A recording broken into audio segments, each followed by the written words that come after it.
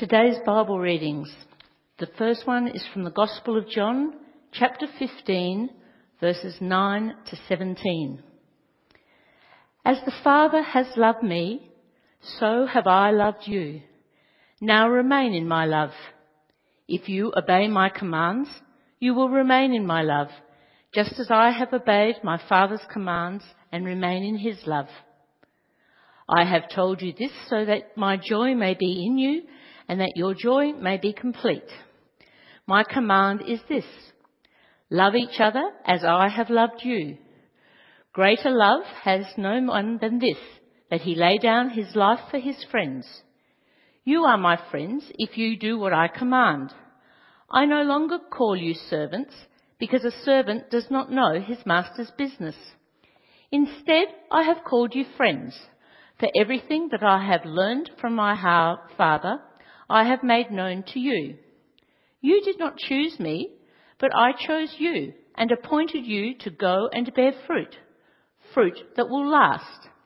Then the Father will give you whatever you ask in my name. This is my command. Love each other. And the second reading is from 1 Corinthians 13, verses 1 to 13. Love. And now I will show you the most excellent way if I speak in the tongues of men and of angels, but have not love, I am only a resounding gong or a clanging cymbal. If I have the gift of prophecy and can fathom all mysteries and all knowledge, and if I have a faith that can move mountains, but have not love, I am nothing. If I give all I possess to the poor and surrender my body to the flames, but have not love, I gain nothing. Love is patient. Love is kind. It does not envy. It does not boast. It is not proud. It is not rude. It is not self-seeking. It is not easily angered. It keeps no record of wrongs. Love does not delight in evil, but rejoices with the truth. It always protects, always trusts, always hopes always perseveres. Love never fails. But where there are prophecies, they will cease. Where there are tongues, they will be stilled. Where there is knowledge, it will pass away. For we know in part and we prophesy in part. But when perfection comes, the imperfect disappears. When I was a child, I talked like a child. I thought like a child. I reasoned like a child. When I became a man, I put childish ways behind me. Now we see but a poor reflection as in a mirror. Then we shall see face to face. Now I know in part, then I shall know fully, even as I am fully known. And now these three remain faith, hope, and love. But the greatest of these is love. This morning I've taken the liberty of following, of not following the set scripture or the lectionary for today. Instead, we're to reflect on Paul's so-called hymn to love, which we've just heard. In a way, it's appropriate to Mother's Day, for it ends with faith, hope, and love. These three, but the greatest of them is love. Many of you will have been at a wedding where it was read Perhaps you included the reading at your own wedding, or you may have been to a funeral where it was read. The other day I was in the bank when suddenly the mobile phone of the man began being served began to ring, and of course phones take priority. So he answered and he was soon talking in a loud, agitated voice. He was shouting down the other person. I didn't know whether to pretend I couldn't hear or whether to listen to this one-sided conversation in the hope of understanding some terrible thing that was going on, I felt embarrassed and intrigued at the same time. And you would have had that sort of experience.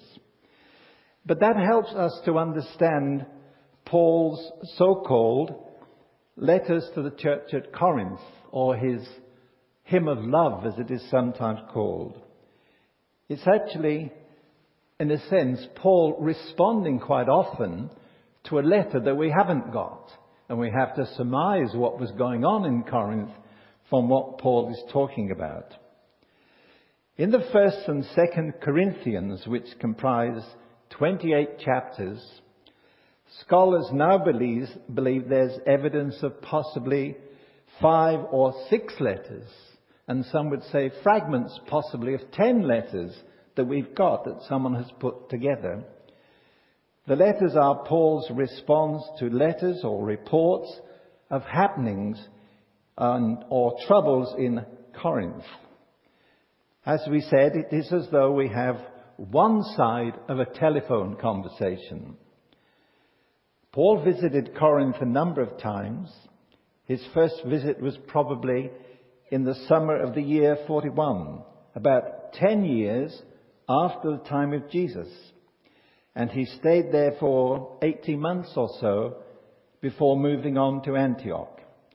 There he kept in t- touch with the Christians by writing to them, sometimes replying to questions they have asked of him in their letters.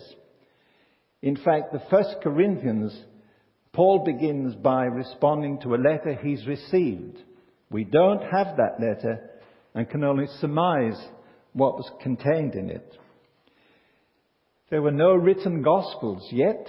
The first, as you know, was Mark's and about Mark at about uh, at year, the year 64.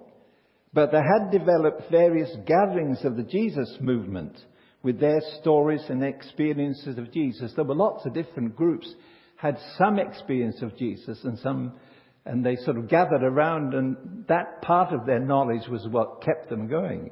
But they were quite different in a way. But uh, they had, in effect, or they were, in effect, developing an, an oral tradition. Corinth was a seaport of a population of about a quarter of a million, with all the hustle and bustle of trade and the immortality, immortality immorality. it made me think. Somebody wondered how Dorothy was getting on, and I saw they're giving her small doses of morphine. I should have, anyway. Corinth was a new and lively city which was rebuilt by Julius Caesar as a Roman colony in 44 BC. It flourished, and in 27 BC, the Caesar, now Augustus, declared Corinth the capital of the Roman province of Greece. Paul believes that he is called to be the missionary, the evangelist to the Gentiles, not to the Jews. And on his first visit, he has headed off bushy tailed and eager. Paul was probably unprepared for what confronted him in Corinth, but he soon came to love the Jesus followers there and called them, or they were the called out ones or the ecclesia. But he was shocked by what he encountered in Corinth. Over the years, Paul makes a number of visits. And over the years, when not there, he continues to keep in touch with them by his letters. There were many religions practiced in this Hellenistic city. Religion was popular, or certain religions were. There were many different cults.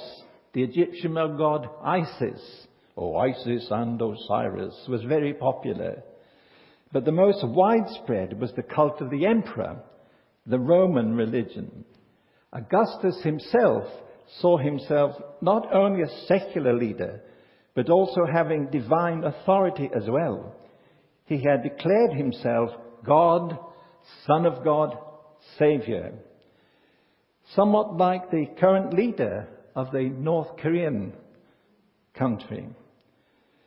Paul came saying, Jesus is Lord, not Caesar. The society in Corinth was hierarchical. Everyone had his or her place from slave to emperor. By contrast, reminds them in his letters that in the church there is neither Jew nor Greek, slave nor free. All those walls had to go. These man-made walls between people had to go. Class war was alive and well in the church, even when they met for the Lord's Supper. There were problems between Jews and Greeks. Corinth had a synagogue, but many Jews were not fully committed and were known as the God-fearers.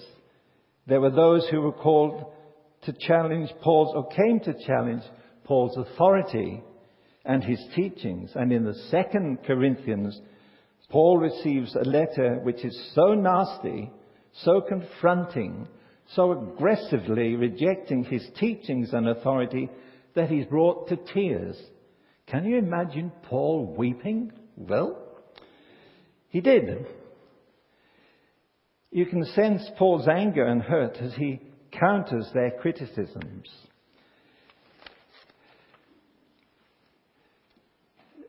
Mainly, their criticisms were that they had said that they disagreed with Paul, who said about the resurrection, if Christ be not risen, we are most of all to be pitied. There was also tension in Corinth when some Jewish Christians argued that everyone had to follow the law of the Jewish Bible. The young church obviously raises a host of issues with Paul in their various letters, and Paul attempts to guide them. Some of the points of conflict were eating meat which had been offered to idols, issues of sexual morality, using the courts to settle disputes, speaking in tongues in a noisy, screeching babble, and greedy behavior at special meals. He, in effect, calls them babies, little children who have not developed, and he is disappointed that they have not grown up in their faith as he had expected.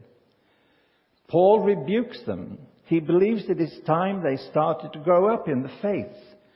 He was attempting to establish a radical new faith, offering liberation from fatalism, from cosmic despair, the terror of mystical cults. Paul is endeavoring to plant a new faith with an ability to create a moral community where none had really existed before, and to encourage the elevation of active charity, of love, above all other virtues. Paul says, when I was a child, etc. Dr. Hamley used to encourage us to explore whether Paul is talking about little children or the young in the faith. Even when Jesus says, suffer the little children to come unto me, he is probably or likely talking about the young in the faith, recent converts, those who have become Christians in a dangerous and hostile environment and need special care and support. Anyway, here in Corinth, he's rebuking them because they seem not to have grown in their faith. Two weeks or so ago, I joined a group at Modbury when the leader suddenly asked us, how has your faith changed and matured over the past 20 years or so in response to our 21st century knowledge of the universe and science and ecology, of hunger and homelessness, and so on? Were we defending a 19th or 20th century faith, or were we open to new understandings and new expressions? We have a faith once delivered to the saints, but every generation must reinterpret it in the light of their knowledge and so on. Increasingly in our complex, seemingly falling apart world, we need to deepen our concern for social justice. It's pleasing to note that you have a group, I think, whose task it is to inform you about social justice. We shouldn't leave it to the synod or such rare luminaries as the Reverend Elenie Poulos, who recently returned to her studies. We should become known as a church that above all is passionate and compassionate about social justice. I suspect that is the way to attract today's young, intelligent people. As you know, crucifixion was designed to deny, destroy both body and identity. It was Rome's most horrifying and humiliating form of capital punishment. It was regarded as so shameful that even victims' families would not speak of it. Paul turns up to break the silence about the shame and fear of crucifixion instilled. Instead, Paul turns defeat into victory, declaring in effect, in the cross of Christ I glory. A shameful event has become a triumphant one. Paul's view of the cross of Christ were different for the Corinthians, to act difficult for them to accept or understand, and eventually with those who openly challenged him.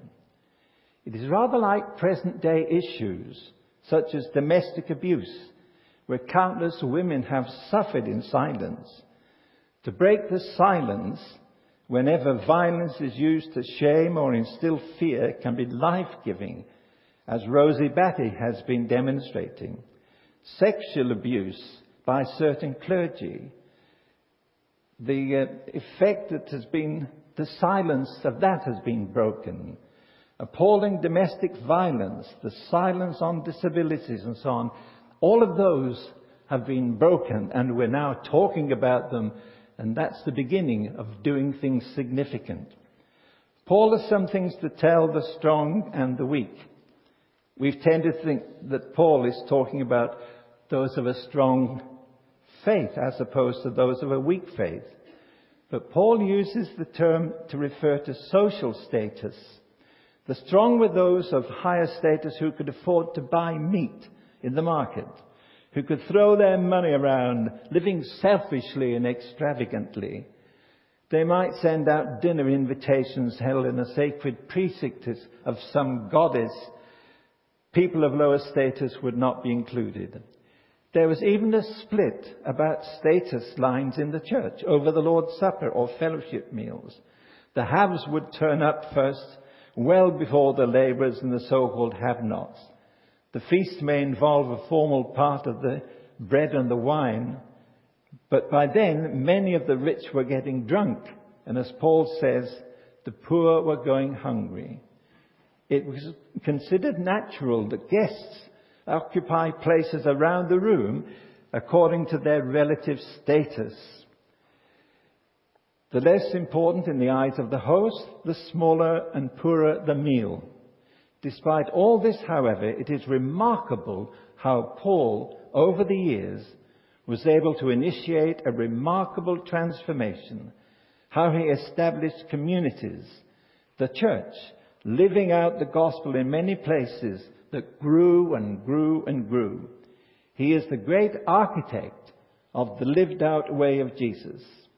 There are, of course, attitudes which he held which we would be, want to contest. Oh, it's interesting that women should be silent in church. You're laughing at him.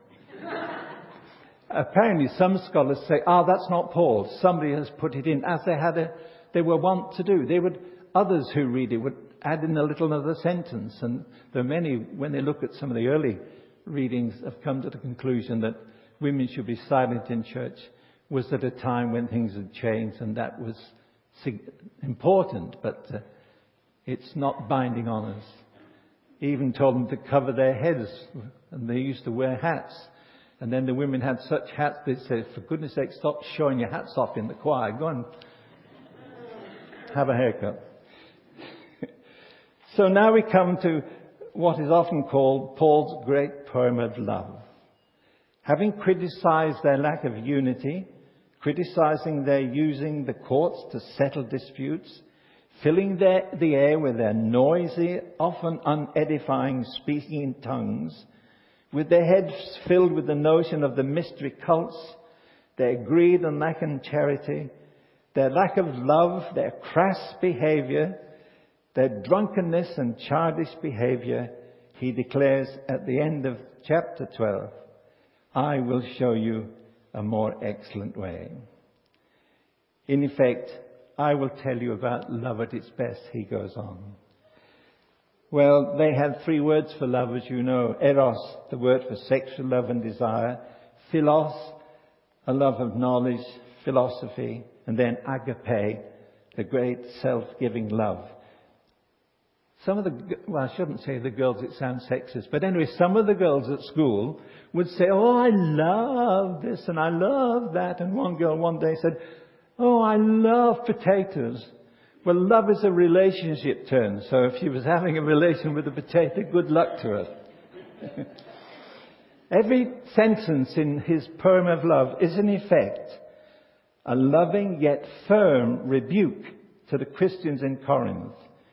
In a loving way, Paul is telling them off, calling on them to grow up, to act differently, many of whom behaved as though they had no knowledge of agape. But Paul loved them, and so, in a sense, earned the right to criticize them. I think people who are deeply committed to the church have earned the right to be critical of it where it's appropriate. It's those who have no concept, no commitment to the church that we sort of say, well, I think you should go and jump in a lake somewhere. so what is it for us? Keep the faith. Keep alive your love of God and one another. Encourage one another. And don't let opportunity pass to do a caring, loving act to another, no matter how small or insignificant an act it may seem. It may mean writing someone a letter or making a cheery phone call. It doesn't have to be about your latest malady. People say, oh, it's my cross and I have to bear it, and they're talking about their influenza. That's the only cross we bear. Or be, be a slayer of loneliness. It's one of the great maladies.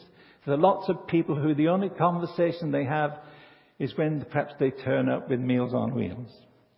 It doesn't have to be about sickness or moaning and whatever. Be a slayer of loneliness.